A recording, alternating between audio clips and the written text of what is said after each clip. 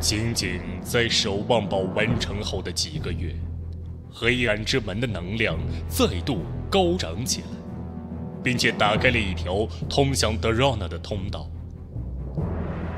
部落中残余的兽人们，在萨满长老奈奥祖的领导下，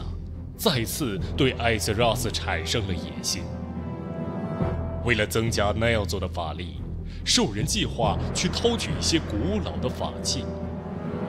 他们计划在德拉纳打开一个新的入口，以便使他们永远的逃离那个命中注定的红色世界。在得知了奈奥祖。再次计划入侵联盟的领地后，罗丹龙王国的国王特雷纳斯决定派出大军远征德拉诺，以一劳永逸地铲除兽人势力对艾泽拉斯的任何威胁。在大法师卡德嘎与大将军图拉扬的领导下，联盟军彻底在燃烧之地击败了兽人的势力。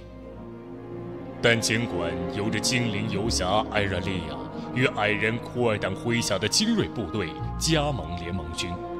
卡德嘎还是未能阻止奈奥族打开传送门，并逃到其他大陆去。由于入口积累的能量过于剧烈，因此德饶纳世界中骤然出现了巨大的风暴。当卡德嘎正竭尽全力带领他的同胞们为回到艾泽拉斯而拼命的战斗时，奈奥祖却仅仅带着他最信任的仆人们，成功的从一个传送门中逃走了。了解到他们最终命运只有死亡之时，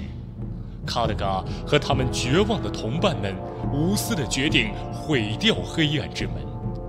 以使艾泽拉斯不会受到德拉诺被毁灭的波及。想尽了各种方法，英雄们终于成功的毁掉了黑暗之门，拯救了艾泽拉斯。然而，他们是否能逃离德拉诺唯一能赋予他们的死亡之命运，这就不得而知了。